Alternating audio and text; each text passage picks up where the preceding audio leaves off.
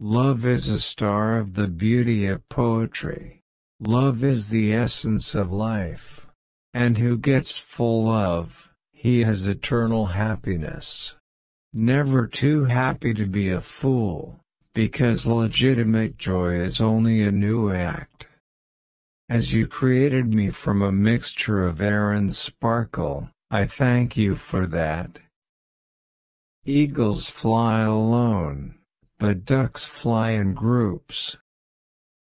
Therefore, the unfettered mind is only held within the bounds, to desire freedom within it.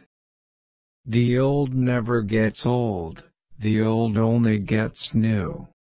Wine easily turns into vinegar, but vinegar never makes wine again.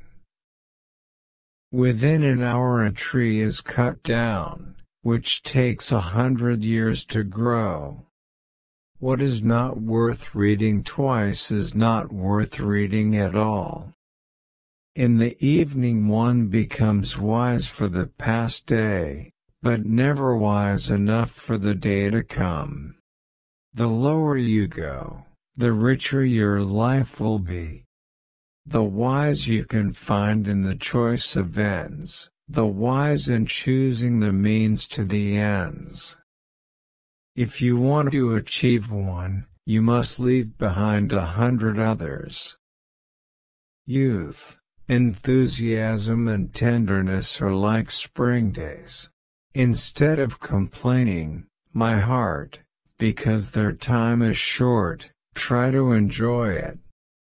A lot we learn only to forget it again, to stand on the goal, we have to traverse all the roads for it. What's not worth reading twice, it's not even worth reading. If you can turn your suffering into action yourself, then you like to boast about the freedom you have complained about. The lower mind is bliss, simple in suffering, one simple in happiness and noble, proud and suffering. Unbelief is always accompanied by superstition, and superstition often leads to faith. A person does not believe the truth when he talks to poor people, and even lies are believed to be rich people.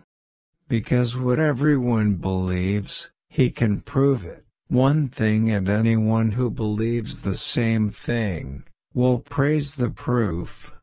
Like the wind in a cage, like water in a sieve, good advice is in the ears of ignorance and love.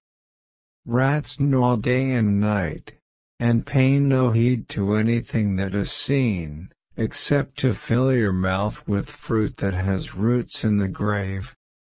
One more look back, and then, the acquisition of a new power. Five hundred years from that day I want to walk the same path.